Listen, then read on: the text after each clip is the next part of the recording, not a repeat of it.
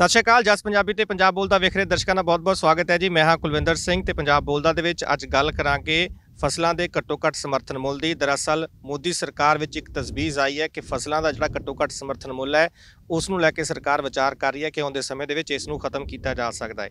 ਜਿਸ ਤੋਂ ਬਾਅਦ ਇਸ ਨੂੰ ਲੈ ਕੇ ਕਈ ਤਰ੍ਹਾਂ ਦੇ ਸਵਾਲ ਜਿਹੜੇ ਨੇ, ਉਹ ਖਾਸ ਤੌਰ ਤੇ ਕਿਸਾਨੀ ਖੇਤਰ ਦੇ ਵਿੱਚ ਉੱਠਣ ਲੱਗੇ ਨੇ। ਬੀਤੇ ਦਿਨੀ ਚੰਡੀਗੜ੍ਹ ਦੇ ਵਿੱਚ ਇੱਕ ਮੀਟਿੰਗ ਵੀ ਹੋਈ ਸੀ, ਜਿਸ ਦੇ ਵਿੱਚ ਤਮਾਮ ਸਿਆਸੀ ਪਾਰਟੀਆਂ ਨੇ ਵੀ ਇੱਕ ਸੁਰ ਦੇ ਵਿੱਚ ਕਿਹਾ ਸੀ ਕਿ ਇਹ ਫੈਸਲਾ ਕਿਸਾਨ ਵਿਰੋਧੀ ਸਾਬਤ ਹੋਏਗਾ ਇਸ ਲਈ ਉਹ ਡਟ ਕੇ ਇਸ ਦਾ ਵਿਰੋਧ ਕਰਨਗੇ ਤੇ ਅੱਜ ਅਸੀਂ ਪਿੰਡ ਦੇ ਵਿੱਚ ਪਹੁੰਚੇ ਹਾਂ ਇੱਥੇ ਕਿਸਾਨਾਂ ਨਾਲ ਗੱਲਬਾਤ ਕਰਦੇ ਹਾਂ ਕਿ ਇਹ ਤਸਵੀਰ ਜਿਹੜੀ ਹੈ ਉਹ ਉਹਨਾਂ ਦੇ ਲਈ ਕਿੰਨੀ ਨੁਕਸਾਨਦਾਈ ਸਾਬਤ ਹੋਏਗੀ ਜਾਂ ਉਹਨਾਂ ਨੂੰ ਲੱਗਦਾ ਹੈ ਕਿ ਇਸ ਤਰੀਕੇ ਹੋਣਾ ਚਾਹੀਦਾ ਤੇ ਫਸਲਾਂ ਦੇ ਘੱਟੋ ਘੱਟ ਸਮਰਥਨ ਮੁੱਲ ਦੇ ਉੱਤੇ ਗੱਲਬਾਤ ਕਰਨ ਲਈ ਅਸੀਂ ਪਿੰਡ ਦੇ ਵਿੱਚ ਪਹੁੰਚੇ ਹੋਏ ਹਾਂ ਜੀ ਸਾਡੇ ਨਾਲ ਕਿਸਾਨ ਮੌਜੂਦ ਨੇ ਭਾਜੀ ਕੀ ਨਾਂ ਤੁਹਾਡਾ ਨਰਿੰਦਰ ਸਿੰਘ ਭਾਜੀ ਤੁਸੀਂ ਦੱਸੋ ਕਿ ਮੋਦੀ ਸਰਕਾਰ 'ਚ ਕਹਿੰਦੇ ਇਹ ਗੱਲਬਾਤ ਚੱਲ ਰਹੀ ਹੈ ਫਿਲਹਾਲ ਕਿ ਆਉਣ ਵਾਲੇ ਟਾਈਮ ਦੇ ਵਿੱਚ ਜਿਹੜਾ ਕਣਕ ਝੋਨੇ ਦਾ ਘੱਟੋ ਘੱਟ ਰੇਟ ਦਿੰਦੀ ਹੈ ਸਰਕਾਰ ਉਹਨੂੰ ਬੰਦ ਕਰ ਸਕਦੀ ਹੈ। ਤੁਹਾਨੂੰ ਕੀ ਲੱਗਦਾ ਕਿਦਾਂ ਦਾ ਫੈਸਲਾ ਹੋਊਗਾ ਇਹ?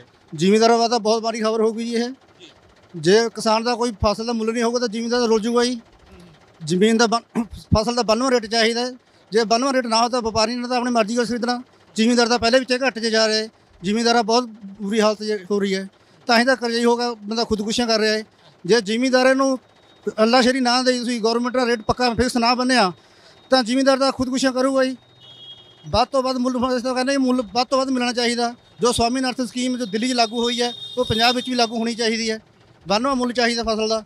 ਜੇ ਫਸ ਤਾਂਯੋ ਤਾਂ ਹੋਰ ਕੋਈ ਚੀਜ਼ ਨਹੀਂ ਬੀਜਦੇ। ਗੰਨ- ਗੰਨਾ ਤੇ ਨਾ ਕਣਕ ਤੇ ਜੀਰੀ ਦੀ ਫਸਲ ਬੰਨਵਾ ਮੁੱਲ ਹੈ। ਜੇ ਸਰਕਾਰ ਇਸ ਨੂੰ ਵੀ ਤੋੜ ਦੂਗੀ ਤਾਂ ਫਿਰ ਜ਼ਿਮੀਂਦਾਰ ਦਾ ਘਾਟੇ ਵਿੱਚ, ਜ- ਜ਼ਿਮੀਂਦਾਰ ਦਾ ਬਹੁਤ ਨੁਕਸਾਨ ਹੋਊਗਾ। ਹੋਰ ਕਿਸੇ ਫਸਲ ਦਾ ਬੰਨਵਾ ਮੁੱਲ ਵੀ ਨਹੀਂ ਹੈ। ਅਸੀਂ ਤਾਂ ਕਹਿੰਦੇ ਹੋਰ ਫਸਲ ਦਾ ਵੀ ਵੱਧ ਤੋਂ ਵੱਧ ਬੰਨਵਾ ਮੁੱਲ ਦਿਆ ਜਾਵੇ, ਜੋ ਕਿਸਾਨੀ ਵੇਚੀ ਜਾਵੇ। ਨਹੀਂ ਜੇ ਕਿਸਾਨੀ ਦਾ ਬਹੁਤ ਘਾਟੇ ਵਿੱਚ ਜਾ ਰਹੀ ਹੈ। ਤਾਂ ਹੀ ਤਾਂ ਤੁਹਾਨੂੰ ਲੱਗਦਾ ਇੱਕ ਮੋਦੀ ਸਰਕਾਰ ਨੇ ਜਦੋਂ ਸੱਤਾ 'ਚ ਆਉਣਾ ਸੀ ਮੋਦੀ ਸਰਕਾਰ ਕਹਿੰਦੀ ਸੀ ਅਸੀਂ 50% ਮੁਨਾਫਾ ਜੋੜ ਕੇ ਦੇਵਾਂਗੇ। ਤੁਹਾਨੂੰ ਲੱਗਦਾ ਵੀ ਹੁਣ ਬਿਲਕੁਲ ਉਲਟ ਕੰਮ ਚੱਲ ਪਿਆ ਉਹਦੇ ਜੇ ਚੀਜ਼ ਉਲਟਾ ਜੀ। ਇਹਦਾ ਸਾਦਾ ਵੀ ਖੋਰ ਹੈ ਕਿਹੜਾ ਕੁਝ ਹੈਗਾ ਹੁਣ ਜ਼ਮੀਨਾਂ ਨੂੰ। ਜੇ ਬੰਨਵਾ ਰੇਟ ਨਹੀਂ ਦੇ ਜ਼ਿਮੀਂਦਾਰਾਂ ਦਾ ਬਹੁਤ ਬੁਰਾ ਹਾਲ ਹੋਊਗਾ। ਜੋ ਇਹਨਾਂ ਨੇ ਕਿਹਾ ਸੀ 50% ਬੰਨਵਾ ਜੋੜ ਦੇਵਾਂਗਾ ਅਸੀਂ ਸਵਾਮੀਨਾਥਨ ਸਕੀਮ ਲਾਗੂ ਕਰੂਗੇ। ਉਹ ਕੁਛ ਬਿਲਕੁਲ ਨਹੀਂ ਕਰਿਆ ਇਹਨਾਂ ਨੇ। ਕਿਸਾਨ ਘਾਟੇ ਵਿੱਚ ਜਾ ਰਿਹਾ ਹੈ ਅੱਛਾ ਇਹ ਦੱਸੋ ਕਿ ਜਦੋਂ ਤੋਂ ਮੋਦੀ ਸਰਕਾਰ ਆਈ ਹੈ ਹੁਣ ਦੂਜੀ ਵਾਰ ਆ ਗਈ ਸੈਂਟਰ ਦੇ ਵਿੱਚ। ਕੋਈ ਫ਼ਰਕ ਪਿਆ? ਕੋਈ ਖੇਤੀ ਤੁਹਾਨੂੰ ਲੱਗਦਾ ਜਾਂ ਖੇਤੀ ਹੁਣ ਮਹਿੰਗੀ ਹੋ ਰਹੀ ਹੈ? ਪਹਿਲਾਂ ਵਾਂਗੂ ਲਾਗਤ ਵਧੇ ਰਹੀ ਹੈ ਘਟੀ ਨਹੀਂ ਹੈਗੀ। ਬੀਜ ਦਾ ਰੇਟ ਵੱਧ ਰਿਹਾ ਜੀ ਰੇਹ ਦਾ ਫਸਲ ਬੜੀ ਸਾਰਾ ਵੱਧ ਰਿਹਾ ਜੀ ਜੱਟ ਜ਼ਿਮੀਂਦਾਰ ਨੂੰ ਕੁਝ ਨਹੀਂ ਮਿਲ ਰਿਹਾ ਹੈ। ਜੋ ਵੀ ਖਰਚਾ ਫਸਲ ਤੇ ਆਉਣਾ ਉਹ ਸਾਰੇ ਦਵਾਈਆਂ ਦੇ ਰੇਟ ਵੀ ਵੱਧ ਗਏ ਸਪਰੇਆਂ ਦੇ ਰੇਟ ਵੀ ਵੱਧ ਗਏ ਖਾਦਾਂ ਦੇ ਰੇਟ ਵੀ ਵੱਧ ਗਏ ਜ਼ਿਮੀਂਦਾਰ ਦੀ ਫਸਲ ਹੈ ਕੋਈ ਵਧਿਆ ਹੈ ਉਹ ਘਟ ਰਹੀ ਹੈ। ਅੱਛਾ ਇੱਕ ਇਹ ਵੀ ਗੱਲ ਹੁੰਦੀ ਕਹਿੰਦੇ ਸਰਕਾਰ ਕਿਸਾਨਾਂ ਪਰ ਦਬਾਅ ਪਾਈ ਜਾਂਦੀ ਵੀ ਤੁਸੀਂ ਜਿਹੜੀਆਂ ਰਵਾਇਤੀ ਫਸਲਾਂ ਨੇ ਕਣਕ ਝੋਨੇ ਨਾਲੋਂ ਅਲੱਗ ਫਸਲਾਂ ਬੀਜੋ। ਤੁਹਾਨੂੰ ਲੱਗਦਾ ਹੈ ਕਿ ਹੁਣ ਤੱਕ ਤਾਂ ਰੇਟ ਮਿਲਦਾ ਰਿਹਾ ਜੇ ਇਹਨਾਂ ਫਸਲਾਂ ਦਾ ਰੇਟ ਵੀ ਨਹੀਂ ਦਿੱਤਾ ਤਾਂ ਕਿਸਾਨ ਕਿੱਥੋਂ ਅ, ਬਾਕੀ ਫਸਲਾਂ ਪੈਦਾ ਕਰਨਗੇ? ਹੋਰ ਕਿਸੇ ਫਸਲ ਦਾ ਰੇਟ ਨਹੀਂ ਦੇ ਰਹੇ। ਗੰਨੇ ਦੇ ਪੈਸੇ ਪੁਰਾਣੇ ਖੜੇ ਨੇ। 2-2 ਸਾਲ ਦੇ ਪੈਸੇ ਗੰਨੇ ਦੇ ਪੈਸੇ ਖੜੇ ਜ਼ਿਮੀਂਦਾਰਾਂ ਦੇ। ਕਣਕ ਤੇ ਜੀਰੀ ਦਾ ਸਭ ਸਮਰਥਨ ਨੂੰ ਲੈ ਕੇ ਜੋ ਰੇਟ ਬੰਨ੍ਹਵਾ ਰੱਖਿਆ ਵਾ ਕਿ ਦਾਲਾਂ ਦੇ ਰੇਟ ਬੰਦ ਮੈਂ ਮੱਕੀ ਦੇ 2000 ਰੁਪਏ ਰੇਟ ਬੰਦ ਮੈਂ ਕੋਈ ਝੋਨਾ ਲਾਊਗਾ ਹੀ ਨਹੀਂ। ਕਿ ਮੱਕੀ ਦਾ ਖਾਸ ਖਰਚਾ ਘੱਟ ਆਉਂਦਾ ਹੈ। ਲੇਕਿਨ ਜਦੋਂ ਰੇਟ ਨਹੀਂ ਬੰਨਦੇ ਹੈ ਜ਼ਿਮੀਂਦਾਰ ਦੇ ਫਸਲ ਤਿਆਰ ਕਰ ਲਵੇ ਮੱਕੀ ਦਾ ਰੇਟ ਨਹੀਂ ਹੈ ਕੋਈ। 5-700 ਰੁਪਏ ਮੱਕੀ ਲਾ ਦੀ ਜੋ ਬੰਨ੍ਹਦੇ ਨੇ ਸੁੱਕਾ ਅਗਲਿਆਂ ਦਾ ਘਾਟਾ ਜ਼ਿਮੀਂਦਾਰ ਨੂੰ ਬਹੁਤ ਪੈ ਰਿਹਾ ਹੈ। ਠੀਕ ਹੈ ਭਾਜੀ, ਬਹੁਤ ਬਹੁਤ ਧੰਨਵਾਦ, ਤੁਸੀਂ ਸਾਡੇ ਨਾਲ ਗੱਲਬਾਤ ਕਰੀ ਹੈ ਜੀ। ਸੋ ਕਿਸਾਨਾਂ ਦਾ ਇਹ ਕਹਿਣਾ ਹੈ ਕਿ ਜੀ, ਪਹਿਲਾਂ ਹੀ ਰੇਟ ਜਿਹੜਾ ਇਹ ਫਸਲਾਂ ਦਾ ਬੜਾ ਘੱਟ ਰੇਟ ਹੈ। ਇੱਕ ਉਹ ਗੱਲ ਹੁੰਦੀ ਆ ਫਸਲੀ ਵਿਭਿੰਨਤਾ ਦੀ ਕਿ ਹੋਰ ਫਸਲਾਂ ਬੀਜੋ, ਪਰ ਜਦੋਂ ਫਸਲ ਦਾ ਕੋਈ ਰੇਟ ਹੀ ਨਹੀਂ ਨਿਰਧਾਰਤ ਕਰਨਾ ਸਰਕਾਰ ਨੇ, ਤੇ ਜਿਨ੍ਹਾਂ ਦਾ ਰੇਟ ਹੈਗਾ ਏ, ਜੇ ਉਹ ਵੀ ਰੇਟ ਖਤਮ ਕਰ ਦੂਗੀ ਸਰਕਾਰ ਤਾਂ ਕਿਸਾਨੀ ਦੇ ਲਈ ਇਹ ਬਹੁਤ ਬੜੀ ਮੁਸ਼ਕਲ ਖੜੀ ਕਰੂਗਾ। ਕੁਝ ਹੋਰ ਕਿਸਾਨ ਵੀਰਾਂ ਦੇ ਨਾਲ ਗੱਲਬਾਤ ਕਰਾਂਗੇ। ਭਾਜੀ, ਦੱਸੋ, ਮੋਦੀ ਸਰਕਾਰ ਦੇ ਵਿੱਚ ਇਹ ਗੱਲਾਂ ਚੱਲ ਗਈਆਂ ਨੇ ਫਿਲਹਾਲ ਕਿ ਆਉਣ ਵਾਲੇ ਟਾਈਮ ਦੇ ਵਿੱਚ ਜਿਹੜੀ ਕਣਕ ਨਾਲੇ ਝੋਨੇ ਦਾ ਭਾਅ ਦਿੱਤਾ ਜਾ ਰਿਹਾ ਹੈ, ਵੀ ਮੋਦੀ ਸਰਕਾਰ ਉਹਨੂੰ ਖਤਮ ਕਰ ਸਕਦੀ ਹੈ। ਤੁਸੀਂ ਦੱਸੋ ਵੀ ਇਹ ਕਿਸਾਨੀ ਵਾਸਤੇ ਮਾੜਾ ਫੈਸਲਾ ਹੋਊਗਾ ਜਾਂ ਚੰਗਾ? ਕਰਨੇ ਦਾ ਫੈਸਲਾ ਜੀ ਇਹ। ਜ਼ਿਮੀਂਦਾਰ ਨੂੰ ਬਿਲਕੁਲ ਥੱਲੇ ਲਾ ਕੇ ਖਤਮ ਕਰਨਾ। ਕੋਈ ਇਹਦਾ ਮਤਲਬ ਜ਼ਿਮੀਂਦਾਰ ਨੂੰ ਫਾਇਦਾ ਨਹੀਂ ਹੋਣਾ ਜੀ। ਅੱਜ ਤੱਕ ਨਾ ਕੋਈ ਫਾਇਦਾ ਹੋਇਆ ਮੋਦੀ ਸਰਕਾਰ ਤੇ, ਨਾ ਹੋਣਾ ਜੀ ਕੋਈ। ਇਹ ਤਾਂ ਜੀ ਜਮਾਂ ਗਲ ਘੋਟ ਕੇ ਮਾਰਨੇ ਵਾਲਾ ਕੰਮ ਹੈ ਜੀ ਜ਼ਿਮੀਂਦਾਰ ਨੂੰ। ਜੇ ਇਹ ਦੱਸੋ ਕਿ ਮੋਦੀ ਸਰਕਾਰ ਇੱਕ ਗੱਲ ਕਰਦੀ ਸੀ ਕਿ ਅਸੀਂ 50% ਮੁਨਾਫਾ ਜੋੜ ਕੇ ਦਵਾਂਗੇ। ਤੁਹਾਨੂੰ ਲੱਗਦਾ ਕਿ ਉਲਟ ਚੱਲ ਰਹੀ ਹੈ ਸਰਕਾਰ ਇਹਨੂੰ ਜੇ ਮੁਨਾਫਾ ਦੇਣਾ ਜੀ ਫਿਰ ਇਹਦਾ ਬੰਦ ਕਰਨ ਦਾ ਕੀ ਮਕਸਦ ਹੈ ਜੀ ਰੇਟ ਦਾ? ਜਿਹੜਾ ਰੇਟ ਪੰਜਾਬ ਗਵਰਨਮੈਂਟ ਦਾ ਬੰਨਿਆ ਹੋਇਆ ਉਹਦਾ ਚੱਲਣ ਦਿਓ। ਮ- ਮੁਨਾਫਾ 50 ਦੇਣਾ 30 ਦੇਣਾ 20 ਦੇਣਾ ਉਹ ਵਾਧਾ ਦਿਓ ਨਾ। ਇਹਨੂੰ ਤਾਂ ਬੰਦ ਨਾ ਕਰੋ ਜੋ ਗਵਰਨਮੈਂਟ ਹੀ ਰੇਟ ਹੈ ਜੀ। ਜੇ ਰੇਟ ਬੰਦ ਹੋ ਗਿਆ ਉਹਦਾ ਗੰਨੇ ਵਾਲਾ ਕੰਮ ਹੋਣਾ ਜੀ ਜਿਵੇਂ ਗੰਨੇ ਦੀ ਪੇਮੈਂਟ ਨਹੀਂ ਆਂਦੀ ਉਹੀ ਹਾਲ ਹੋਣਾ ਜੀ। ਜ਼ਿਮੀਂਦਾਰਾਂ ਦਾ 1 ਸਾਲ ਫਸਲ ਦਾ ਰੇਟ ਆ ਜਾਏਗਾ ਅੱਗੇ ਨੂੰ ਆਉਣਾ ਨਹੀਂ ਹੈ ਜੀ। ਜ਼ਿਮੀਂਦਾਰ ਕਿੱਥੇ ਜਾਊਗਾ ਜੀ ਵਿਚਾਰਾ? ਅੱਛਾ ਇੱਕ ਕਿਸਾਨਾਂ ਨੂੰ ਇਹ ਕਹੀ ਜਾਂਦੇ ਆ ਕਿ ਤੁਸੀਂ ਹੋਰ ਫਸਲਾਂ ਬੀਜੋ ਕਣਕ ਝੋਨੇ ਚੋਂ ਬਾਹਰ ਆ ਜਾਓ ਬਾਕੀ ਫਸਲਾਂ ਬੀਜੋ ਫਸਲੀ ਵਿਭਿੰਨਤਾ ਲਿਆਓ। ਤੁਹਾਨੂੰ ਲੱਗਦਾ ਕਿ ਜਦੋਂ ਹੁਣ ਤੁਸੀਂ ਰੇਟ ਨਹੀਂ ਰੱਖਣਾ ਕਿਸੇ ਫਸਲ ਦਾ ਤਾਂ ਕਿਸਾਨ ਬਾਕੀ ਫਸਲਾਂ ਕਿਉਂ ਬੀਜੂਗਾ ਫਿਰ? ਜੇ ਫਸਲ ਦਾ ਤਾਂ ਹੀ ਬੀਜੂਗਾ ਜੇ ਕਿਸੇ ਦਾ ਪੱਕਾ ਰੇਟ ਹੋਊਗਾ ਜੀ। ਕਿਸੇ ਕਿਸੇ ਕਿਸੇ ਫਸਲ ਦਾ ਰੇਟ ਨਹੀਂ ਹੈ ਜੀ ਜਿਹੜੇ ਦੋ ਫਸਲਾਂ ਦਾ ਕਣਕ ਤੇ ਜੀਰੀ ਦਾ ਜੀ। ਇਹ ਕਹਿੰਦੇ ਇਹ ਬੰਦ ਕਰ ਦੇਣਾ ਜੀ ਰੇਟ। ਇਹਦੇ ਬਾਅਦ ਤਾਂ ਜ਼ਿਮੀਂਦਾਰ ਨੇ ਖੁਦ ਮਰਨਾ ਹੀ ਮਰਨਾ। ਹੁਣ ਖੁਦਕੁਸ਼ੀਆਂ ਘੱਟ ਹੋ ਰਹੀਆਂ ਫਿਰ ਹੋਰ ਜ਼ਿਆਦਾ ਹੋਣਗੀਆਂ ਜੀ। ਵਧੂਗੇ ਵਧੂਗੀਆਂ ਜੀ। ਬਿਲਕੁਲ ਵਧੂਗੀਆਂ। ਤੁਸੀਂ ਇਹ ਦੱਸੋ ਕਿ ਜਿਹੜਾ ਜਦ ਤੋਂ ਮੋਦੀ ਸਰਕਾਰ ਆਈ ਹੈ ਉਸ ਤੋਂ ਬਾਅਦ ਕੋਈ ਤੁਹਾਨੂੰ ਲੱਗਦਾ ਕਿ ਕੋਈ ਫ਼ਰਕ ਪਿਆ ਕਿਸਾਨੀ ਨੂੰ? ਕੋਈ ਤੁਹਾਡਾ ਖਰਚਾ ਘਟਿਆ ਹੋਵੇ ਜਾਂ ਵਧਿਆ ਹੀ ਹੈ ਖਰਚਾ? ਵਧਿਆ ਹੀ ਹੈ ਜੀ ਖਰਚਾ ਤਾਂ ਜੀ। ਹੁਣ ਜਿਵੇਂ ਯੂਰੀਆ ਦਾ ਜੀ ਤੋੜ ਰਹੇ ਆ ਜੀ ਕਹਿੰਦੇ ਵੀ ਮਿਲਣਾ ਨਹੀਂ ਹੈ ਜੀ ਜਿਹੜਾ ਸਬਸਿਡੀ ਮਿਲਦੀ ਸੀ ਜੀ ਉਹ ਬੰਦ ਕਰਤੀ ਜੀ। ਸਬਸਿਡੀ ਬੰਦ ਹੋ ਗਈ ਤਾਂ ਯੂਰੀਆ ਦਾ ਰੇਟ ਵੱਧ ਗਿਆ ਜੀ। ਜ਼ਿਮੀਂਦਾਰ ਕਿੱਥੇ ਦਊਗਾ? ਜ਼ਿਮੀਂਦਾਰ ਤਾਂ ਪਹਿਲਾਂ ਮਰਿਆ ਹੋਇਆ ਜੀ। ਬਿਲਕੁਲ ਜੀ ਸੋ ਕਿਸਾਨ ਭਰਾਵਾਂ ਦਾ ਇਹੀ ਕਹਿਣਾ ਹੈ ਕਿ ਇਹ ਕਿਸੇ ਮਸਲੇ ਦਾ ਹੱਲ ਨਹੀਂ ਹੈ। ਜਿੱਥੇ ਇੱਕ ਪਾਸੇ ਦਾਵਾ ਇਹ ਹੋ ਰਿਹਾ ਸੀ ਕਿ 50% ਮੁਨਾਫਾ ਜੋੜ ਕੇ ਦੇਵਾਂਗੇ, ਜੇ ਉੱਥੇ ਤੁਸੀਂ ਇੱਕ ਰੇਟ ਹੀ ਖਤਮ ਕਰਨ ਜਾ ਰਹੇ ਹੋ, ਤੇ ਉਸ ਨਾਲ 50% ਮੁਨਾਫੇ ਦੀ ਗੱਲ ਫਿਰ ਕਿੱਥੇ ਰਹਿ ਜਾਏਗੀ? ਤੇ ਖਰਚਾ ਜਿਹੜਾ ਹੈ ਉਹ ਲਗਾਤਾਰ ਵਧ ਰਿਹਾ ਹੈ। ਫਸਲਾਂ ਦੀ ਕੀਮਤ ਨਿਰਧਾਰਤ ਹੋਣੀ ਚਾਹੀਦੀ ਹੈ। ਜੇਕਰ ਸਰਕਾਰ ਚਾਹੁੰਦੀ ਹੈ ਕਿ ਕਿਸਾਨ ਹੋਰ ਬਦਲਵੀਆਂ ਫਸਲਾਂ ਬੀਜਣ, ਕੁਝ ਹੋਰ ਕਿਸਾਨ ਵੀਰਾਂ ਦੇ ਨਾਲ ਗੱਲਬਾਤ ਕਰਾਂਗੇ। ਪੰਜਾਬ ਬੋਲਦਾ ਲਗਾਤਾਰ ਜਾਰੀ ਰਹੇਗਾ। ਤੇ ਕਣਕ ਤੇ ਝੋਨੇ ਦੇ ਘੱਟੋ ਘੱਟ ਸਮਰਥਨ ਮੁੱਲ ਨੂੰ ਲੈ ਕੇ ਫਿਲਹਾਲ ਜੋ ਮੋਦੀ ਸਰਕਾਰ ਦੇ ਵਿੱਚ ਤਜਵੀਜ਼ ਚੱਲ ਰਹੀ ਹੈ ਕਿ ਇਹਨਾਂ ਦਾ ਜੋ ਸਮਰਥਨ ਮੁੱਲ ਹੈ ਉਹ ਖਤਮ ਕੀਤਾ ਜਾਵੇ ਭਵਿੱਖ ਦੇ ਵਿੱਚ ਇਸ ਤਰੀਕੇ ਦੀਆਂ ਗੱਲਾਂ ਨੇ ਉਸ ਨੂੰ ਲੈ ਕੇ ਅਸੀਂ ਕਿਸਾਨ ਵੀਰਾਂ ਨਾਲ ਗੱਲਬਾਤ ਕਰ ਰਹੇ ਹਾਂ। ਭਾਜੀ ਕੀ ਨਾ ਤੁਹਾਡਾ? ਗਲਵੰਤ ਸਿੰਘ ਜੀ ਕੁਲਵੰਤ ਤੁਸੀਂ ਦੱਸੋ ਕਿ ਮੋਦੀ ਸਰਕਾਰ 'ਚ ਗੱਲਾਂ ਚੱਲ ਰਹੀਆਂ ਨੇ ਕਿ ਕਣਕ ਝੋਨੇ ਦਾ ਜਿਹੜਾ ਰੇਟ ਹੁਣ ਤੱਕ ਦੇ ਰਹੀ ਹੈ ਸਰਕਾਰ। ਅੱਗੇ ਗੱਲ ਇਹ ਚੱਲ ਰਹੀ ਹੈ ਕਿ ਆਉਣ ਵਾਲੇ ਟਾਈਮ 'ਚ ਇਹ ਸਰਕਾਰ ਇਹਨੂੰ ਖਤਮ ਕਰ ਸਕਦੀ ਹੈ। ਤੁਹਾਨੂੰ ਲੱਗਦਾ ਹੈ ਕਿ ਕਿਦਾਂ ਦਾ ਫੈਸਲਾ ਹੋਊਗਾ? ਇਹ ਗਲਤ ਹੈ ਜੀ ਇਹ। ਜੇ ਖਤਮ ਕਰਨਾ ਚਾਹੁੰਦੇ ਫਿਰ ਤਾਂ ਗਰੀਬ ਜਨਤਾ ਕਿੱਥੇ ਜਾਊਗੀ ਆਮ ਇਨਸਾਨਾਂ ਕੋਈ ਵੀ ਬੰਦਾ ਹੈ ਜੀ। ਬਹੁਤ ਗਲਤ ਹੈ ਜੀ। ਐਦਾਂ ਹੋਣਾ ਨਹੀਂ ਚਾਹੀਦਾ ਜੀ। ਨੁਕਸ- ਨੁਕਸਾਨ ਹੋਊਗਾ ਕਿਸਾਨੀ ਦਾ ਹੋਰ? ਇਹ ਨੁਕਸਾਨ ਸਭ ਦਾ ਹੀ ਹੈ ਜੀ। ਕਿਸਾਨਾਂ ਦਾ ਵੀ ਨੁਕਸਾਨ ਹੈ ਜੀ। ਆਮ ਜਨਤਾ ਦਾ ਵੀ ਨੁਕਸਾਨ ਹੈ ਜੀ। ਗਰੀਬ ਬੰਦਿਆਂ ਦਾ ਵੀ ਨੁਕਸਾਨ ਹੈ ਲੱਗਦਾ ਕਿ ਵਧਾਣੇ ਚਾਹੀਦੇ ਸੀ ਰੇਟ? ਸਰਕਾਰ ਨੂੰ ਸਰਕਾਰ ਘਟਾ ਰਹੀ ਹੈ। ਹਾਈ ਰੇਟ ਵਧਾਉਣਾ ਚਾਹੀਦਾ ਜੀ। ਘਟਾਉਣਾ ਦਾ ਕਿ ਵਧਾਉਣਾ ਚਾਹੀਦਾ ਜੀ। ਘਟਾਉਣਾ ਨਹੀਂ ਚਾਹੀਦਾ ਵਧ- ਵਧਣਾ ਚਾਹੀਦਾ ਜੀ। ਤੁਹਾਨੂੰ ਲੱਗਦਾ ਕਿ ਕਿਸਾਨੀ ਜਿਹੜੀ ਆ ਹੁਣ ਤੱਕ ਮਤਲਬ ਜਿੱਦਾਂ ਅਸੀਂ ਕਹਿੰਦੇ ਸੀ ਵੀ ਕਿਸਾਨੀ 'ਚ ਫਾਇਦਾ ਫੂਦਾ ਰਿਹਾ ਨਹੀਂ ਹੁਣ ਕੋਈ ਬਹੁਤਾ ਵੀ ਕਿਸਾਨ ਘਾਟੇ 'ਚ ਜਾ ਰਿਹਾ ਤਾਂ ਹੀ ਸਾਡੇ ਕਿਸਾਨ ਖੁਦਕੁਸ਼ੀਆਂ ਕਰੀ ਜਾਂਦੇ ਆ। ਜੇ ਇਦਾਂ ਦਾ ਫੈਸਲਾ ਹੋ ਗਿਆ ਤਾਂ ਇਹ ਜਿਹੜੀ ਹਾਲਤ ਆ ਹੋਰ ਖਰਾਬ ਹੋ ਜਾਊ। ਹਾਂਜੀ ਹਾਂਜੀ ਹੋ ਹੋ ਸਕਦੀ ਹੈ ਜੀ ਇਹ। ਤੁਹਾਨੂੰ ਲੱਗਦਾ ਕਿ ਰੁਕਣਾ ਚਾਹੀਦਾ ਫੈਸਲਾ? ਹਾਂਜੀ ਰੁਕਣਾ ਚਾਹੀਦਾ ਜੀ ਇਹ ਗਲਤ ਹੈ ਜੀ ਇਹ ਇਸ ਤਰ੍ਹਾਂ ਹੋਣਾ ਨਹੀਂ ਚਾਹੀਦਾ ਜੀ ਇਹ। ਹੁਣ ਇਸ ਵੇਲੇ ਤੁਹਾਨੂੰ ਕੀ ਲੱਗਦਾ ਵੀ ਕਿਸਾਨੀ ਦੇ ਕਿੰਨੇ ਕਿਸ ਤਰੀਕੇ ਦੇ ਹਾਲਾਤ ਆ ਕਿੰਨੇ ਕੁ ਮਾੜੇ ਹਾਲਾਤ ਆ? ਬਹੁਤ ਮਾੜੇ ਹਾਲਾਤ ਹੈ ਜੀ। ਜੇ ਸੋਚੋ ਹੀ ਹੁਣ ਇਦਾਂ ਕਿਸਾਨ ਇੱਕ ਲੇਖੇ ਦਾ ਸਭ ਖਾਤਰ ਅਨਾਜ ਪੈਦਾ ਕਰਦਾ ਜੀ ਮਿੱਟੀ ਵਿੱਚ ਮਿੱਟੀ ਹੁੰਦਾ ਜੀ। ਮਜ਼ਦੂਰ ਵੀ ਉਹਨਾਂ ਦੇ ਨਾਲ ਰਲ ਕੇ ਕੰਮ ਕਰਦੇ ਆ ਜੀ। ਕਈ ਵਾਰੀ ਬਾਰਿਸ਼ ਇੰਨੀ ਆਉਂਦੀ ਹੈ ਪਾਣੀ ਦੇ ਤੌਰ ਤੇ ਫਸਲ ਵੀ ਖਰਾਬ ਹੋ ਜਾਂਦੀ ਹੈ ਜੀ। ਫਸਲ ਖਰਾਬ ਹੋ ਗਈ ਉਹਦੇ ਤੌਰ ਤੇ ਤਾਂ ਉਹਨੇ ਜੀਣਾ ਹੈ ਜੇ ਉਹੀ ਫਸਲ ਖਰਾਬ ਹੋ ਗਈ ਤਾਂ ਫਿਰ ਜੱਟ ਤਾਂ ਮਰੂੰਗਾ ਹੀ। ਹੈ ਜੀ? ਤਾਂ ਹੋਰ ਵੀ ਬਹੁਤ ਸਾਰੇ ਲੋਕ ਹੋਰ ਵੀ ਹੈ ਜੀ। ਬਹੁਤ ਹੈ ਜੀ, ਇੱਕ ਨਹੀਂ ਬਹੁਤ ਲੱਖਾਂ ਹੀ ਦੁਨੀਆ ਇਹੋ ਜਿਹੇ ਵੀ ਜਿਹੜੇ ਜਿਨ੍ਹਾਂ ਨੂੰ ਪਤਾ ਵੀ ਨਹੀਂ ਹੈਗਾ ਜਿਹੜੇ ਕਰਜ਼ ਦੇ ਥੱਲੇ ਦਬੇ ਹੋਏ ਵੀ ਮਰ ਜਾਂਦੇ ਆ। ਪਰ ਉਹਨਾਂ ਦਾ ਕਰਜ਼ਾ ਪੂਰਾ ਨਹੀਂ ਹੁੰਦਾ ਹੈਗਾ, ਨਾ ਮਾਫ ਹੁੰਦਾ, ਮਾਫ ਕਹਿ ਦਿੰਦੇ ਆ ਵੀ ਹੁੰਦਾ, ਪਰ ਹੁੰਦਾ ਕੁਝ ਨਹੀਂ ਹੈਗਾ। ਪਰ ਗਲਤ ਕਰ ਰਹੇ ਹੈ ਇਹ ਸਰਕਾਰ, ਮੋਦੀ ਸਰਕਾਰ ਵੀ। ਠੀਕ ਹੈ ਭਾਜੀ, ਬਹੁਤ ਬਹੁਤ ਧੰਨਵਾਦ, ਤੁਸੀਂ ਸਾਡੇ ਨਾਲ ਗੱਲਬਾਤ ਕਰੀ ਹੈ ਜੀ। ਸੋ ਕਿਸਾਨ ਵੀਰਾਂ ਨਾਲ ਹੋਰ ਅੱਗੇ ਗੱਲਬਾਤ ਜਾਰੀ ਰੱਖਾਂਗੇ ਜੀ, ਪੰਜਾਬ ਬੋਲਦਾ ਦੇ ਵਿੱਚ ਜਾਣਨ ਦੀ ਕੋਸ਼ਿਸ਼ ਕਰਾਂਗੇ ਕਿ ਜੇਕਰ ਫਸਲਾਂ ਦਾ ਇਹ ਘੱਟੋ ਘੱਟ ਸਮਰਥਨ ਮੁੱਲ ਆਉਂਦੇ ਟਾਈਮ 'ਚ ਮੋਦੀ ਸਰਕਾਰ ਬੰਦ ਕਰਦੀ ਹੈ, ਤਾਂ ਉਹਨਾਂ ਦੀ ਜ਼ਿੰਦਗੀ ਕਿੰਨੇ ਕੁ ਵੱਡੇ ਪੱਧਰ ਤੇ ਪ੍ਰਭਾਵਿਤ ਹੋਏਗੀ ਤੇ ਕੀ ਇਸ ਤਜਵੀਜ਼ ਨੂੰ ਹੁਣ ਤੋਂ ਹੀ ਹੈ ਜਿਹੜਾ ਉਹ ਰੱਦ ਕਰ ਦੇਣਾ ਚਾਹੀਦਾ, ਇਸ ਤੇ ਵਿਚਾਰ ਕਰਨ ਦੀ ਕੋਈ ਲੋੜ ਨਹੀਂ ਹੈ। ਕਣਕ ਅਤੇ ਝੋਨੇ ਦੇ ਘੱਟੋ ਘੱਟ ਸਮਰਥਨ ਨੂੰ ਲੈ ਕੇ ਜੋ ਫਿਲਹਾਲ ਕੇਂਦਰ ਦੀ ਸਰਕਾਰ ਦੇ ਵਿੱਚ ਗੱਲਾਂ ਚੱਲ ਰਹੀਆਂ ਨੇ, ਜਿਸ ਨੂੰ ਲੈ ਕੇ ਵਿਰੋਧ ਦੀ ਆਵਾਜ਼ ਉੱਠਣੀ ਸ਼ੁਰੂ ਹੋ ਚੁੱਕੀ ਹੈ ਕਿ ਇਹਨਾਂ ਫਸਲਾਂ ਦਾ ਜੋ ਘੱਟੋ ਘੱਟ ਸਮਰਥਨ ਮੁੱਲ ਹੈ, ਉਹ ਖਤਮ ਕੀਤਾ ਜਾਵੇ। ਇੱਕ ਨਵਾਂ ਮਾਡਲ ਜਿਹੜਾ ਹੈ, ਉਹ ਲਿਆਉਣ ਦੀ ਕੋਸ਼ਿਸ਼ ਕੀਤੀ ਜਾ ਰਹੀ ਹੈ, ਜੋ ਕਿ ਅਮਰੀਕਾ ਤੇ ਯੂਰਪ ਵਰਗੇ ਵੱਡੇ ਮੁਲਕਾਂ ਦੇ ਵਿੱਚ ਇਸ ਤੋਂ ਪਹਿਲਾਂ ਉਸ ਦੀ ਕੋਸ਼ਿਸ਼ ਹੋ ਚੁੱਕੀ ਹੈ ਹਾਲਾਂਕਿ ਕਿਸਾਨਾਂ ਲਈ ਮਾਰੂ ਸਾਬਤ ਹੋਇਆ ਤੇ ਉਸੇ ਨੂੰ ਭਾਰਤ ਵਿੱਚ ਲਾਗੂ ਕਰਨ ਦੀ ਵਿਚਾਰਾਂ ਹੋ ਰਹੀਆਂ ਨੇ ਕੋਸ਼ਿਸ਼ ਹੋ ਰਹੀ ਹੈ ਪਰ ਇਸੇ ਵਿਚਾਲੇ ਕਿਸਾਨ ਇਸ ਬਾਰੇ ਕੀ ਸੋਚਦੇ ਨੇ ਪੰਜਾਬ ਬੋਲਦਾ ਅਸੀਂ ਉਹੀ ਚਰਚਾ ਕਰ ਰਹੇ ਹਾਂ ਸਾਡੇ ਨਾਲ ਕਿਸਾਨ ਵੀਰ ਮੌਜੂਦ ਨੇ ਉਹਨਾਂ ਨਾਲ ਗੱਲ ਕਰਦੇ ਹਾਂ। ਭਾਜੀ ਕੀ ਨਾ ਤੁਹਾਡਾ? ਜਸਵਿੰਦਰ ਹੈ ਜੀ ਮੇਰਾ ਨਾਮ। ਜਸਵਿੰਦਰ ਭਾਜੀ ਦੱਸੋ ਕਿੱਦਾਂ ਚੱਲ ਰਹੀ ਖੇਤੀਬਾੜੀ? ਕੀ ਹਿਸਾਬ ਕਿਤਾਬ ਹੈ? ਖੇਤੀਬਾੜੀ ਦਾ ਜੀ ਬਸ ਤੁਹਾਨੂੰ ਪਤਾ ਹੀ ਹੈ ਹੁਣ ਬਹੁਤ ਔਖਾ ਹੋਇਆ ਵਾ ਕੰਮ ਪੂਰਾ। ਹੋਰ? ਬਚਦਾ ਕੁਝ ਨਹੀਂ? ਬਚਦਾ ਬੁਚਦਾ ਦਾ ਕੁਛ ਨਹੀਂ। ਰੇਹਾਂ ਹੀ ਦਵਾਈਆਂ ਸਪਰੇਹਾਂ ਬਹੁਤ ਮਹਿੰਗੀਆਂ ਸਣੀਆਂ ਹੋਰ? ਖਰਚਾ ਵੱਧ ਗਿਆ ਬਹੁਤ। ਖਰਚਾ ਬਹੁਤ ਵੱਧ ਗਿਆ। ਉਹ ਨਹੀਂ ਵੱਧਦਾ ਹੈ। ਅਜੇ ਮੋਦੀ ਸਰਕਾਰ ਦੇ ਆਉਣ ਨਾਲ ਕੋਈ ਫ਼ਰਕ ਪਿਆ ਖਰਚੇ ਜਾਂ ਵਧੇ ਇਹ ਖਰਚਾ? ਨਾ ਜੀ ਖਰਚਾ ਵਧਿਆ ਬਹੁਤ। ਵਧਿਆ ਹੀ ਹਾਂ। ਕੋਈ ਘਟੇ ਨਹੀਂ। ਕੋਈ ਨਹੀਂ ਘਟਿਆ ਹੈ। ਅੱਛਾ ਤੁਹਾਨੂੰ ਪਤਾ ਵੀ ਇੱਕ ਨਵੀਂ ਗੱਲ ਚੱਲ ਰਹੀ ਹੈ ਵੀ ਕਣਕ ਤੇ ਝੋਨੇ ਦਾ ਜਿਹੜਾ ਰੇਟ ਹੁਣ ਤੱਕ ਦਿੱਤਾ ਜਾ ਰਿਹਾ ਹੈ ਇੱਕ ਫਿਕਸ ਰੇਟ ਵੀ ਜੇ ਉਹ ਖਤਮ ਹੋ ਜਾਵੇ ਫਿਰ ਕੀ ਨੁਕਸਾਨ ਹੈ? ਉਹ ਜੀ ਵਧਣਾ ਚਾਹੀਦਾ ਹਾਏ ਸਾਲ। ਹਾਂ। ਜੇ ਖਤਮ ਹੋ ਗਿਆ ਫਿਰ? ਇਹ ਖਤਮ ਸਰਕਾਰ ਨੇ ਵੈਸੇ ਹੀ ਖਤਮ ਕਰਤਾ ਵੀ ਅਸੀਂ ਫਿਕਸ ਕੋਈ ਰੇਟ ਰੱਖਣਾ ਹੀ ਨਹੀਂ। ਫਿਰ ਕਿਆ ਫਿਰ ਸਰਕਾਰ ਦੇਖੀ ਜਾਊਗੀ ਹੁਣ ਲੋਕਾਂ ਨਾਲੇ ਹੈ। ਹੋਰ ਕਿਆ। ਤੁਹਾਨੂੰ ਲੱਗਦਾ ਕਿਸਾਨ ਵਾਸਤੇ ਘਾਟੇ ਵਾਲਾ ਸੌਦਾ ਹੋਊਗਾ ਬਹੁਤ? ਹੈ ਜੀ? ਹੈ ਤਾਂ ਘਾਟੇ ਹੀ ਹੈ ਜੀ। ਕਿਸਾਨਾਂ ਨੂੰ ਬਣਦਾ ਕਿਆ ਜੀ? ਹੂੰ। ਘਾਟੇ ਵਿੱਚ ਹੀ ਜਾ ਰਹੇ ਕਿਸਾਨ। ਹੋਰ?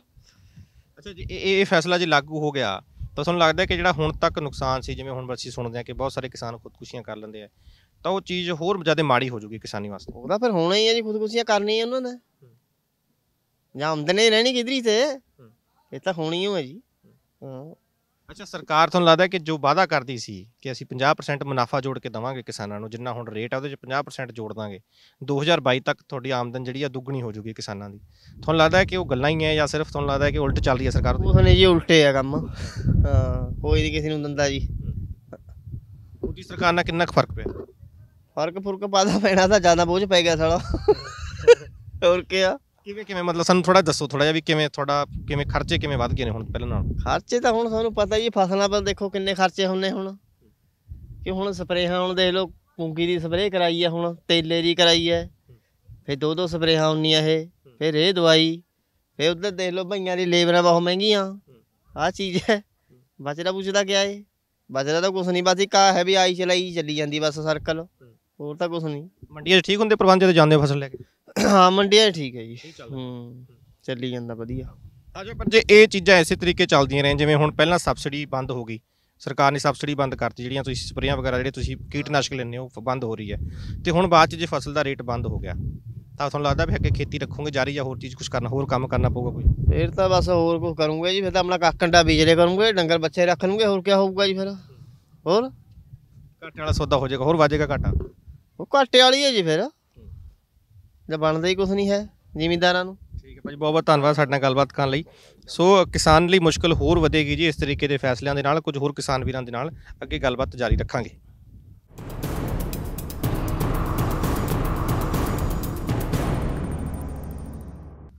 ਤੇ ਕੇਂਦਰ ਸਰਕਾਰ ਦੇ ਵੱਲੋਂ ਘੱਟੋ ਘੱਟ ਸਮਰਥਨ ਮੁੱਲ ਨੂੰ ਲੈ ਕੇ ਜੋ ਤਜਵੀਜ਼ ਰੱਖੀ ਗਈ ਹੈ ਕਿ ਆਉਣ ਵਾਲੇ ਭਵਿੱਖ ਦੇ ਵਿੱਚ ਸ਼ਾਇਦ ਜੋ ਘੱਟੋ ਘੱਟ ਸਮਰਥਨ ਮੁੱਲ ਦਿੱਤਾ ਜਾ ਰਿਹਾ ਉਹ ਖਤਮ ਕੀਤਾ ਜਾਵੇ, ਉਸੇ ਨੂੰ ਲੈ ਕੇ ਅਸੀਂ ਕਿਸਾਨ ਵੀਰਾਂ ਦੇ ਨਾਲ ਗੱਲਬਾਤ ਕਰ ਰਹੇ ਹਾਂ। ਉਹਨਾਂ ਦੇ ਕੋਲੋਂ ਜਾਣਨ ਦੀ ਕੋਸ਼ਿਸ਼ ਕਰ ਰਹੇ ਹਾਂ ਕਿ ਜੇਕਰ ਇਹ ਫੈਸਲਾ ਲਾਗੂ ਹੁੰਦਾ ਹੈ ਭਵਿੱਖ ਦੇ ਵਿੱਚ ਤਾਂ ਕਿੰਨਾ ਕੁ ਵੱਡਾ ਕਿਸਾਨ ਦੇ ਲਈ ਇਹ ਮਾਰੂ ਫੈਸਲਾ ਸਾਬਤ ਹੋਏਗਾ? ਸਾਡੇ ਨਾਲ ਕਿਸਾਨ ਮੌਜੂਦ ਨੇ। ਸਰ ਕੀ ਨਾਮ ਹੈ ਤੁਹਾਡਾ? ਸੁਰਿੰਦਰਜੀਤ ਸਿੰਘ ਜੀ। ਸੁਰਿੰਦਰ ਜੀ ਤੁਸੀਂ ਦੱਸੋ ਕਿ ਗੱਲਾਂ ਚੱਲ ਰਹੀਆਂ ਨੇ ਮੋਦੀ ਸਰਕਾਰ 'ਚ ਕਿ ਕਣਕ ਤੇ ਝੋਨੇ ਦਾ ਜਿਹੜਾ ਘੱਟੋ ਘੱਟ ਸਮਰਥਨ ਮੁੱਲ ਹੈ ਉਹ ਸ਼ਾਇਦ ਭਵਿੱਖ ਵਿੱਚ ਬੰਦ ਕੀਤਾ ਜਾਵੇ ਖਤਮ ਕਰ ਦਿੱਤਾ ਜਾਵੇ। ਕਿੰਨਾ ਕੁ ਨੁਕਸਾਨਦਾਈ ਫੈਸਲਾ ਹੋਊਗਾ ਜੇ ਇਹ ਲਾਗੂ ਹੁੰਦਾ ਹੈ? ਸਰ ਜੇ ਫੈਸਲਾ ਲਾਗੂ ਹੁੰਦਾ ਤਾਂ ਕਿਸਾਨੀ ਦੀ ਮੌਤ ਹੋ ਜੂਗੀ ਬਿਲਕੁਲ ਇਹ। ਕਿਸਾਨੀ ਜਮਾਂ ਹੀ ਕਿਸੇ ਉਹਦੇ ਜੋਗੀ ਹੋਗੀ ਕੁਝ ਖੁਦਕਸ਼ੀਆਂ ਕਰ ਜਾਣਗੇ ਕੁਝ ਵੈਸੇ ਹੀ ਕੁਝ ਨਾ ਕੁਝ ਬਸ ਖਤਮ ਹੋ ਜੂਗੀ ਜਾਣੀ ਕਿਸਾਨੀ ਕਿਸਾਨੀ ਦਾ ਤਾਂ ਪਹਿਲਾਂ ਦੇ ਹੀ ਸੈਂਟਰ ਸਰਕਾਰਾਂ ਦਾ ਬਿਲਕੁਲ ਧੱਕਾ ਚੱਲ ਰਿਹਾ।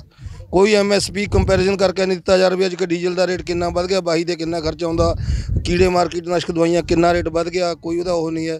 ਪਹਿਲਾਂ ਹੀ ਅੱਜ ਕਿਸਾਨੀ ਦਾ ਜੋ 10 20 ਸਾਲ ਪਹਿਲਾਂ ਤੋਂ ਆਪਣਾ ਜਿਹੜਾ ਇਹਦੀ ਆ ਉਹ ਵੱਧ ਰਹੀ ਹੈ, ਉਹਦਾ 18% ਬਣਦੀ ਹੈ। ਜਿਹੜੀਆਂ ਹੋਰ ਮੁਲਾਜ਼ਮਾਂ ਦੀ ਤਨਖਾਹਾਂ ਵਗੈਰਾ ਲਓ, ਉਹ 300 300% ਵੱਧ ਰਹੀਆਂ। ਦਵਾਈਆਂ ਐਗਰ ਸਭ ਕੁਝ ਦਾ 2 ਤੋਂ 3 300 2.5 300 ਦੇ ਲਗਭਗ ਜਾ ਰਿਹਾ। ਕਿਸਾਨੀ ਦਾ ਪਹਿਲਾਂ ਹੀ ਖਤਮ ਕੀਤੀ ਜਾ ਰਹੀ ਹੈ। ਬਾਕੀ ਰਹੀ ਜੇ ਇਹ ਖਤਮ ਹੋ ਗਈ ਤਾਂ ਤਾਂ ਬਿਲਕੁਲ ਖਤਮ ਹੋ ਜਾਣਾ ਜ਼ਿਮੀਂਦਾਰ ਨੇ। ਉਹਦੇ 'ਚ ਕੋਈ ਕਿਸਾਨ ਦਾ ਬਚਣ ਦਾ ਚਾਂਸ ਨਹੀਂ ਹੈ। ਇਸ ਨੂੰ ਲੱਗਦਾ ਕਿ ਸਰਕਾਰ ਉਲਟ ਚੱਲ ਰਹੀ ਹੈ। ਜਿਹੜਾ ਵਾਅਦਾ ਕਰਕੇ ਆਈ ਸੀ ਕੇਂਦਰ ਦੇ ਵਿੱਚ ਮੋਦੀ ਸਰਕਾਰ ਕਿ ਅਸੀਂ ਜਿਹੜੀ ਐਮਐਸਪੀ ਹੈ ਉਹਦੇ ਵਿੱਚ 50% ਮੁਨਾਫਾ ਜੁੜ ਕੇ ਕਿਸਾਨਾਂ ਨੂੰ ਦੇਵਾਂਗੇ। ਤੁਹਾਨੂੰ ਲੱਗਦਾ ਕਿ ਜੋ ਫੈਸਲੇ ਹੁਣ ਤੱਕ ਕਰੇ ਨੇ ਸਰਕਾਰ ਨੇ ਉਹ ਉਲਟ ਕਰੇ ਨੇ? ਅੱਜ ਤੱਕ ਜਿੰਨੇ ਮੋਦੀ ਸਰਕਾਰ ਆਈ ਹੈ ਇਸ ਤੋਂ ਬਾਅਦ ਜਿੰਨੇ ਨੇ ਫੈਸਲੇ ਕੀਤੇ ਨੇ ਸਾਰੇ ਕਿਸਾਨੀ ਤੋਂ ਉਲਟ ਕੀਤੇ ਨੇ। ਕੋਈ ਇਹਨੇ ਕਿਸਾਨੀ ਦੇ ਹੱਕ ਦਾ ਫੈਸਲਾ ਨਹੀਂ ਕੀਤਾ। ਇਹ ਬਿਲਕੁਲ ਉੱਪਰ ਦੇ ਨੇ, ਉੱਪਰਲੀਆਂ ਗੱਲਾਂ ਨੇ ਵੀ ਅਸੀਂ ਇਹ ਕਰਤਾ ਸੀ, ਉਹ ਕਰਤਾ, ਇਹਦੇ 'ਚ ਕੋਈ ਕਿਸਾਨੀ ਦੇ ਬੈਨੀਫਿਟ ਦਾ ਨਹੀਂ ਮਿਲਿਆ ਕਿਸਾਨ ਨੂੰ। ਕੋਈ ਇਹਨੇ ਕਿਸਾਨੀ ਜਿਹੜੇ ਕਹਿੰਦੇ ਸਵਾਮੀ ਨਸਲਾਂ ਰਿਪੋਰਟ ਲਾਗੂ ਕਰਤੀ। ਕਿਹੜੀ ਰਿਪੋਰਟ ਲਾਗੂ ਕਰਤੀ ਇਹਨਾਂ ਸਵਾਮੀ ਨਸਲ ਕਮਿਸ਼ਨ ਨਾਲ? ਕੀ ਰਿਪੋਰਟ ਲਾਗੂ ਕਰ ਜਿਹੜੀ ਸਵਾਮੀ ਸਵਾਮੀ ਨਸਲ ਕਮਿਸ਼ਨ ਦੀਆਂ ਰਿਪੋਰਟਾਂ, ਉਹ ਪੜ੍ਹ ਕੇ ਤਾਂ ਦੇਖੋ ਕੀ ਹੈ।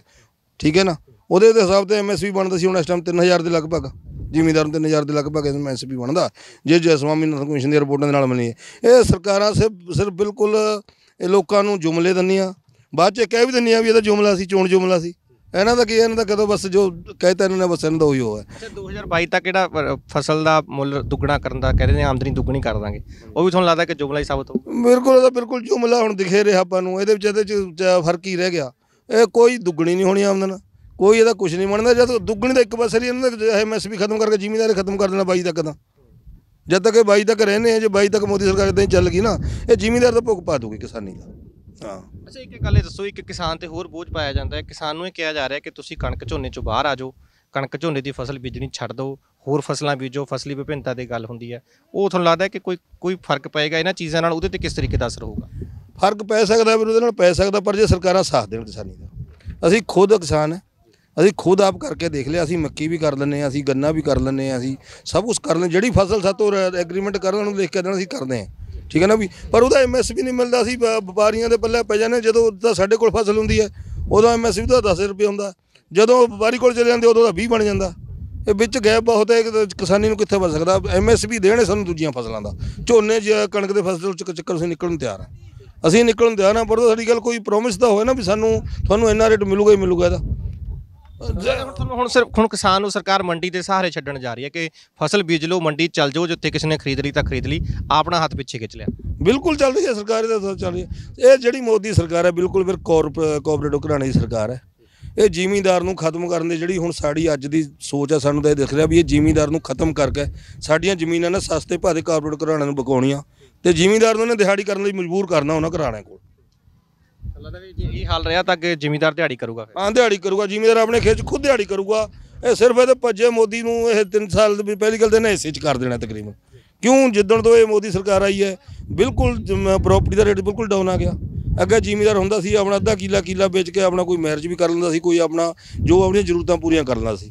ਹੁਣ ਜੋ ਕਿਲਾ ਹੀ ਸਾਡਾ 50 ਲੱਖ ਵਾਲਾ ਘਟ ਕੇ ਨਾ 22 ਲੱਖ ਦੇ ਲੈਂਦਾ 18 ਲੱਖ ਦੇ ਲੈਂਦਾ ਉਹਦੇ ਵਿੱਚ ਵੇਚ ਕੇ ਸਾਡਾ ਬਣਦਾ ਹੀ ਕੁਝ ਨਹੀਂ 18 10 10 20 ਲੱਖ ਦੇ ਸਾਡੇ ਪਹਿਲੇ ਲਿਮਟਾਂ ਚੱਲਦੀਆਂ। ਜ਼ਿਮੀਂਦਾਰ ਕੋਲ ਜ਼ਮੀਨ ਬਿਲਕੁਲ ਸੀਮਿਤ ਹੈ ਹੁਣ 2 2.5 4 5 ਕਿੱਲੇ ਏਕੜ ਤੋਂ ਵੱਧ ਜ਼ਮੀਨ ਹੈ ਨਹੀਂ। ਜ਼ਮੀਨ ਪਹਿਲਾਂ ਪਰਿਵਾਰਾਂ ਵਿੱਚ ਵੰਡੀ ਗਈ ਜਿੱਦਾਂ ਆਪਣਾ ਬਜ਼ੁਰਗਾਂ ਦੇ ਚੱਲਦਾ ਹੁੰਦਾ ਠੀਕ ਹੈ ਨਾ? ਇਹਦਾ ਹੁਣ ਬਿਲਕੁਲ ਖਤਮ ਕਰਨ ਦਾ ਇਹਦਾ ਹੋਇਆ ਇਹਨਾਂ ਨੇ ਸਾਨੂੰ ਖਤਮ ਕਰਕੇ ਕਾਰਪੋਰੇਟ ਘਰਾਣੇ ਦੇ ਬੱਲੇ ਪਾ ਦੇਣਾ। ਤੁਹਾਨੂੰ ਲੱਗਦਾ ਜੀ ਜੇ ਇਹ ਚੀਜ਼ ਹੁਣ ਗੱਲਾਂ ਚੱਲ ਰਹੀਆਂ ਨੇ ਹਾਲੇ ਤਾਂ ਤੁਹਾਨੂੰ ਲੱਗਦਾ ਕਿ ਕਿਸਾਨਾਂ ਨੂੰ ਹੁਣ ਤੋਂ ਇਹਦੇ ਖਿਲਾਫ ਇਕੱਠੇ ਹੋ ਜਾਣਾ ਚਾਹੀਦਾ ਹੈ ਜਾਂ ਤੁਹਾਨੂੰ ਲੱਗਦਾ ਵੀ ਕਿਸਾਨ ਜੇ ਇਸੇ ਤਰੀਕੇ ਕਿਸਾਨਾਂ 'ਚ ਇਸਦੀ ਜਾਣਕਾਰੀ ਨਾ ਆਈ ਚੁੱਪ ਚਪੀਤੇ ਫੈਸਲਾ ਲਾਗੂ ਹੋ ਗਿਆ ਤਾਂ ਕਿਸਾਨਾਂ ਕੋਲ ਮੌਕਾ ਬਚਣਾ ਨਹੀਂ ਇਹਨੂੰ ਇਹਦਾ ਵਿਰੋਧ ਕਰਨ ਦਾ? ਬਿਲਕੁਲ ਵੀਰ ਸਾਡਾ ਜਿਹੜਾ ਸਾਡਾ ਕਿਸਾਨ ਹੈ ਨਾ ਜਿਹੜਾ ਸਾਡਾ ਕਿਸਾਨ ਹੈ ਜੋ ਇਹਨਾਂ ਨੂੰ ਗੱਲ ਕਰਨ ਵਾਲਾ ਉਹ ਤਾਂ ਰਿਹਾ ਹੀ ਨਹੀਂ ਉਹਦਾ 80% ਸਾਡਾ ਸਟੂਡੈਂਟ ਬਾਹਰ ਜਾ ਰਿਹਾ। ਜਿਹੜਾ ਪੜ੍ਹਿਆ ਲਿਖਿਆ ਸਟੂਡੈਂਟ ਦਾ ਬਾਹਰ ਕੱਢ ਰਹੇ ਹੈ ਇਹ ਆਪਣੇ ਵਾਸਤੇ ਸਰਕਾਰਾਂ ਸਿਰਫ ਆਪਣੇ ਵਾਸਤੇ ਗਰਾਊਂਡ ਤੇ ਸਰਕਾਰ ਕਰ ਰਹੀਆਂ। ਜਿਹੜਾ ਬੰਦਾ ਇਹਨਾਂ ਕੋਈ ਗੱਲ ਪੁੱਛਣ ਵਾਸਤੇ ਹੈ, ਉਹ ਤਾਂ ਹੁਣ ਉਹਨੂੰ ਤਾਂ ਇੱਥੇ ਤਾਂ ਕੋਈ ਰੁਜ਼ਗਾਰ ਹੈ ਨਹੀਂ। ਉਹ ਬਾਹਰ ਜਾ ਰਿਹਾ, ਠੀਕ ਹੈ ਨਾ? ਉਰੇ ਵਾਲੇ ਦੇ ਬੰਦਾ ਜਿਹੜਾ ਹੁਣ ਰਹਿ ਗਿਆ, ਜ਼ਿਮੀਦਾਰ ਰਹਿ ਗਿਆ ਜਿਹੜਾ ਨੱਕਾ ਮੋੜਨ ਵਾਲਾ ਰਹਿ ਗਿਆ। ਨੱਕਾ ਮੋੜਨ ਵਾਲੇ ਵਿਚਾਰੇ ਨੂੰ ਕੁਝ ਨਹੀਂ ਪਤਾ ਲੱਗਦਾ, ਮੇਰਾ ਕਿਆ ਘਾਟਾ ਕਹਿੰਦੇ, ਜਦੋਂ ਵੋਟਾਂ ਜਾ ਕੇ ਕਹਿੰਦੇ ਨੇ ਸਾਨੂੰ ਆਹ ਕਰ ਦੇਣਗੇ ਤੁਹਾਨੂੰ ਉਹ ਕਰ ਦੇਣੇ ਜੇ 2-2000 ਪਾਤੇ ਉਹਨੂੰ ਆ ਗਿਆ ਸਾਨੂੰ 6000 ਆ ਗਿਆ। ਪਰ 2000 ਪਾ ਕੇ ਕੱਢ ਕਿੱਧਰ ਲੈਂਦੇ ਨੇ ਇਹ? ਠੀਕ ਹੈ ਨਾ? ਉਹਦੇ ਤਾਂ ਜ਼ਿਮੀਂਦਾਰ ਦੇ ਹਿਸਾਬ ਤੇ ਤਾਂ ਆਉਣਾ ਹੀ ਨਹੀਂ। ਹੁਣ ਇੱਥੇ ਤਾਂ ਜ਼ਿਮੀਂਦਾਰ ਦਾ ਉਹੀ ਰਹਿ ਜਾਣਾ ਇਹਦੇ ਵਿੱਚ ਘਾਟਾ ਦਾ ਜ਼ਿਮੀਂਦਾਰ ਨੂੰ ਪੈਣਾ। ਬਿਲਕੁਲ ਬਹੁਤ ਧੰਨਵਾਦ ਸਾਡੇ ਨਾਲ ਗੱਲਬਾਤ ਕੋਈ ਉਹ ਨਹੀਂ ਕਰਨਾ ਠੀਕ ਹੈ ਨਾ? ਜ਼ਿਮੀਂਦਾਰ ਦਾ ਕੋਈ ਉਹ ਨਹੀਂ ਸੋਚ ਸਕਦਾ। ਇਹ ਸਿਰਫ ਚਾਹੁੰਦੀ ਉਹ ਸਰਕਾਰ ਇਹੀ ਹੈ ਵੀ ਜ਼ਿਮੀਂਦਾਰ ਨੂੰ ਹੇਠਾਂ ਲਾ ਕੇ ਘਸਾ ਕੇ ਇਹਦੀ ਜ਼ਮੀਨ ਖਰੀਦ ਕੇ ਵੱਡੇ ਘਰਾਣਿਆਂ ਨੂੰ ਦੇ ਕੇ ਆਪਣੇ ਵੱਡੇ ਘਰਾਣਿਆਂ ਵੱਲੋਂ ਨੌਕਰੀਆਂ ਕਰਾਈਆਂ ਜਾਣ। ਇਹ ਲਾਸਟ ਸਰਕਾਰ ਦਾ ਫੈਸਲਾ ਸਾਡੇ ਉਸ ਸਾਰੇ ਸੋਚ ਸਮਝ ਸਾਨੂੰ ਇਹ ਲੱਗ ਰਿਹਾ। ਹੁਣ ਜ਼ਿਮੀਂਦਾਰ ਦੇ ਇਹ ਹੋਰ ਕਰ ਰਹੇ ਨੇ। ਹੁਣ ਜ਼ਿਮੀਂਦਾਰ ਦਾ ਕਹਿੰਦਾ ਵੀ ਕਾਊਂਟਰਾਂ 'ਚ ਪੇਮੈਂਟ ਆ ਪਾਓ। ਜ਼ਿਮੀਂਦਾਰ ਨੂੰ ਚੀਜ਼ ਜਿਹੜੀ ਤੁਸੀਂ ਸਵਾਲ ਕੀਤਾ ਨਾ ਵੀ ਜ਼ਿਮੀਂਦਾਰ ਨੂੰ ਲਾਮਬੰਦ ਹੋਣਾ ਚਾਹੀਦਾ ਨਾ, ਮੈਂ ਉਹਦੇ ਤੇ ਆਇਆ ਹਾਂ। ਜ਼ਿਮੀਂਦਾਰ ਨੂੰ ਬਿਲਕੁਲ ਲਾਮਬੰਦ ਹੋਣਾ ਪਊਗਾ। ਜੇ ਜ਼ਿਮੀਂਦਾਰ ਨੇ 5-7 ਸਾਲ ਕੱਟਣੇ ਨੇ। ਹੁਣ ਇਹ ਕਹਿ ਰਹੇ ਨੇ ਵੀ ਜ਼ਿਮੀਂਦਾਰ ਦੀ ਫਸਲ ਦੇ ਪਾਓ ਸਿੱਧੇ ਉਹਦੇ ਵਿੱਚ ਪਾਓ ਅਕਾਊਂਟ 'ਚ ਖਾਤਾ ਪਾਉਣ ਆੜਤੀ। ਅੱਜ ਮੈਨੂੰ ਰਾਤ ਨੂੰ ਲੋੜ ਪੈਂਦੀ ਹੈ। ਮੈਨੂੰ ਹਸਪੀਟਲ ਜਾਣਾ ਪੈਂਦਾ। ਮੇਰੇ ਕੋਲ ਕੋਈ ਸਾਧਨ ਨਹੀਂ ਹੈ। ਮੈਂ ਤਾਂ ਆੜਤੀ ਜਗ੍ਹਾ, ਮੈਂ ਰਾਤੀ ਜਾ ਕੇ ਪੈਸੇ ਫੜ ਲਿਆਉਣਾ। ਮੇਰਾ ਕੰਮ ਸਰਦਾ। ਅੱਜ ਮੈਨੂੰ ਕੋਈ ਐਮਰਜੈਂਸੀ ਪ੍ਰੋਬਲਮ ਪਈ ਵੀ ਹੈ।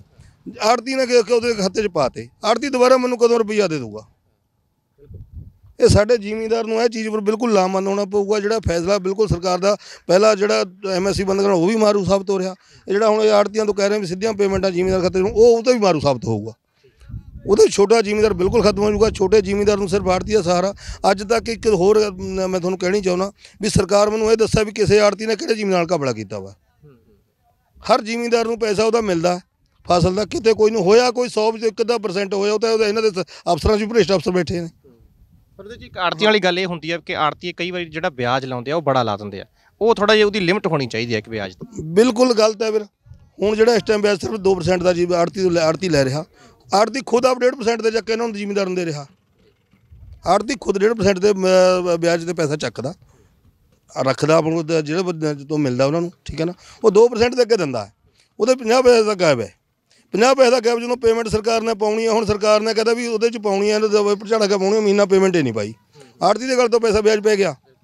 ਵਿਆਜ ਦੇ ਬਰਾਬਰ ਆੜਤੀ ਜਿਵੇਂ ਜਿੰਨਾ ਵਿਆਜ ਲੈ ਰਿਹਾ ਜਿਹਦਾ ਉਨਾ ਹੀ ਬਾਹਰੋਂ ਨਹੀਂ ਦੇ ਰਿਹਾ ਉਹ। ਕੋਈ ਨਜਾਇਜ਼ ਆ, ਜ਼ਿਮੀਂਦਾਰ ਗੱਲ ਨਜਾਇਜ਼ ਨਹੀਂ ਹੁੰਦਾ ਕਿਤੇ ਨਜਾਇਜ਼ ਨਹੀਂ ਹੁੰਦਾ। ਠੀਕ ਹੈ ਨਾ? ਹੋਇਆ ਦੇਖੋ ਜੇ ਕੋਈ ਜੇ ਆੜਤੀ ਕਰਦਾ ਵੀ ਹੈ ਕਿਸੇ ਦੀ ਕੋਈ ਜ਼ਿੰਮੇਵਾਰੀ ਨਹੀਂ ਕਰੀ ਸਕਦੀ ਕੋਈ ਨਹੀਂ ਕਰਦਾ। ਉਹ ਜਿਹੇ ਤਾਂ ਸਰਕਾਰ ਵਿੱਚ ਕਿੱਡੇ ਭ੍ਰਿਸ਼ਟ ਕਿੱਡੇ ਕਿੱਡੇ ਅਫਸਰ ਬੈਠੇ ਨੇ ਭ੍ਰਿਸ਼ਟ। ਸਰਕਾਰਾਂ ਚਲਾਉਣ ਜਿਹੜੇ ਪ੍ਰਸ਼ਾਸਨਾਂ ਵਿੱਚ ਕਿੰਨੇ ਭ੍ਰਿਸ਼ਟ ਬੈਠੇ ਜੇ 10 ਅਫਸਰ ਚੰਗੇ ਤਾਂ ਇੱਕ ਭ੍ਰਿਸ਼ਟ ਹੁੰਦਾ ਹੀ ਹੁੰਦਾ ਵਿੱਚ। ਇਹ ਉਹਦੇ ਪਰ ਸ- ਕਾਰਵਾਈ ਸਖਤ ਕਰਨ, ਨਾ ਕਿ ਇਹ ਜ਼ਿਮੀਂਦਾਰ ਦਾ ਸਿੱਧੀ ਪੇਮੈਂਟ ਕਰਕੇ ਜ਼ਿਮੀਂਦਾਰ ਨੂੰ ਖਤਮ ਕਰਾਉਣ। ਹੁਣ ਜ਼ਿਮੀਂਦਾਰ ਨੂੰ ਤੋਂ ਵੱਧ ਪੈਸਾ ਨਹੀਂ ਮਿਲਣਾ। ਜ਼ਿਮੀਂਦਾਰ ਨੇ ਖਤਮੇ ਹੋ ਜਾਣ ਦੇ ਵਿੱਚ। ਇਹ ਬਿਲਕੁਲ ਮਾਰੂ ਸਾਬਤ ਹੋਊਗਾ, ਇਹ ਵੀ ਫੈਸਲਾ। ਜਿਹੜਾ ਇਹ ਸਿੱਧੀਆਂ ਪੇਮੈਂਟਾਂ ਪਾਉਣ ਦਾ ਕਰ ਰਹੇ ਠੀਕ ਹੈ ਨਾ? ਬਾਕੀ ਜਿਹੜੀ ਐਮਐਸਪੀ ਚੱਕਰ ਉਹਦਾ ਤਾਂ ਜਮਾ ਹੀ ਖਲੂ ਮਾਰੂ ਕਰਨਾ। ਇਹਦੇ ਵਿੱਚ ਸਾਡੇ ਜ਼ਿਮੀਂਦਾਰ ਭਰਾ ਹੁਣ ਜੇ ਸਾਰੇ ਜਾ- ਇੱਕ ਮੱਕ ਹੋ ਕੇ ਹੋਏ ਕਰਦੇ ਨੇ ਲਾਮੰਦ ਹੋ ਕੇ ਇਹਦਾ ਵਿਰੋਧ ਕਰਦੇ ਨੇ, ਫਿਰ ਸ਼ਾਇਦ ਕੁਝ ਬਚਾਓ ਹੋ ਜਾਏ ਪਰ ਸਾਡੇ ਜ਼ਿਮੀਂਦਾਰਾਂ ਭਰਾਵਾਂ ਵਿੱਚੋਂ ਵੀ ਸਾਡੇ ਜਿਹੜੇ ਲੀਡਰ ਹੈ, ਜ਼ਿਮੀਂਦਾਰ ਕਿਸਾਨ ਉਹਨਾਂ ਦੇ, ਉਹ ਵੀ ਬਕਾਊ ਨੇ ਉਸ ਇਹਨਾਂ ਕੋਲ ਵਿਕ ਉਹ ਫਿਰ ਕਹਿੰਦੇ ਸਾਡਾ ਫੈਸਲਾ ਹੋ ਗਿਆ ਤੁਸੀਂ ਛੱਡਿਆ ਉਹਨੇ ਜ਼ਿਮੀਂਦਾਰਾਂ ਨੂੰ। ਠੀਕ ਹੈ ਬਹੁਤ ਬਹੁਤ ਸ਼ੁਕਰੀਆ, ਤੁਸੀਂ ਸਾਡੇ ਨਾਲ ਗੱਲਬਾਤ ਕਰੀ ਹੈ ਜੀ। ਸੋ ਕਿਸਾਨ ਵੀਰਾਂ ਦਾ ਇਹ ਕਹਿਣਾ ਹੈ ਜੀ ਕਿ ਜੇ ਫੈਸਲਾ ਇਸ ਤਰੀਕੇ ਦਾ ਕੋਈ ਲਾਗੂ ਹੁੰਦਾ ਹੈ ਭਵਿੱਖ ਦੇ ਵਿੱਚ, ਤਾਂ ਬਹੁਤ ਹੀ ਮਾਰੂ ਫੈਸਲਾ ਸਾਬਤ ਹੋਏਗਾ, ਕਿਉਂਕਿ ਪਹਿਲਾਂ ਹੀ ਕਿਸਾਨੀ ਜਿਹੜੀ ਹੈ, ਘਾਟੇ ਦਾ ਸੌਦਾ ਬਣੀ ਹੋਈ ਹੈ। ਇਸੇ ਵਿਚਾਲੇ ਜੋ ਘੱਟੋ ਘੱਟ ਸਮਰਥਨ ਮੁੱਲ ਕੁਝ ਕੁ ਫਸਲਾਂ ਦਾ ਮਿਲ ਰਿਹਾ ਹੈ। ਜੇਕਰ ਉਹ ਵੀ ਬੰਦ ਹੋ ਜਾਂਦਾ ਹੈ ਤਾਂ ਕਿਸਾਨ ਦੇ ਲਈ ਫਸਲਾਂ ਤੋਂ ਦੂਰ ਹੋਣ ਦਾ, ਖੇਤਾਂ ਤੋਂ ਦੂਰ ਹੋਣ ਦਾ ਇੱਕੋ ਇੱਕ ਉਸ ਤੋਂ ਬਾਅਦ ਉਸ ਕੋਲ ਆਪਸ਼ਨ ਬਚੇਗੀ ਤੇ ਉਸ ਤੋਂ ਬਾਅਦ ਇਹ ਜ਼ਮੀਨਾਂ ਜਿਹੜੀਆਂ ਨੇ, ਉਹ ਵੱਡੇ ਵੱਡੇ ਕਾਰਪੋਰੇਟ ਘਰਾਣਿਆਂ ਦੇ ਕੋਲ ਜਾਣਗੀਆਂ। ਕਿਸਾਨ ਇਹਨਾਂ ਕਾਰਪੋਰੇਟ ਘਰਾਣਿਆਂ ਦੇ ਕੋਲ ਮਜ਼ਦੂਰ ਦੇ ਤੌਰ ਤੇ ਕੰਮ ਕਰੇਗਾ, ਜੇਕਰ ਇਸੇ ਤਰੀਕੇ ਇਹ ਸਿਸਟਮ ਚੱਲਦਾ ਰਿਹਾ। ਤੇ ਫਿਲਹਾਲ ਪੰਜਾਬ ਬੋਲਦਾ ਦੇ ਇਸ ਅੰਕ ਦੇ ਵਿੱਚ ਐਨਾ ਹੀ। ਧੰਨਵਾਦ ਜੀ।